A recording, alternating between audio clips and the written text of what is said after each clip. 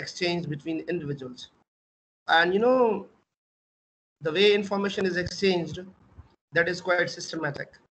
Systematic in the sense it is a common system of some established symbols, some established signs, and some understood behavior as well. Signs and symbols are quite established. Established in the sense we are well familiar with. And we also discuss about the quality of communication. If you can uh, just see this figure, yes. If you can just see this figure,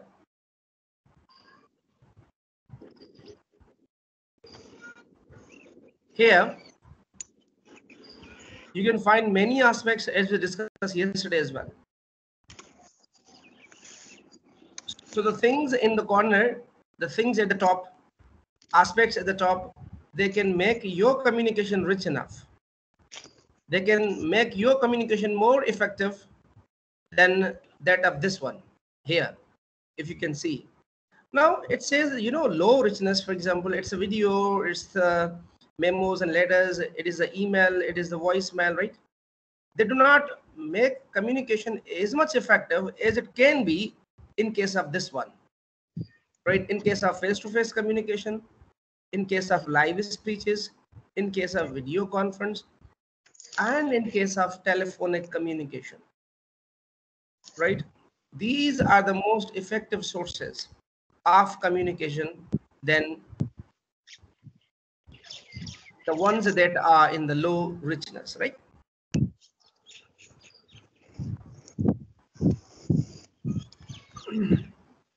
And now let's move. Why effective communication? Do you really think that there is the need of effective communication, that communication has to be effective? Or there must be communication?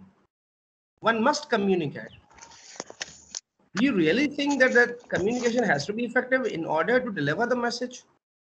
In order to deliver what you want to? Or what you intend to? Do you really think so? yes sir.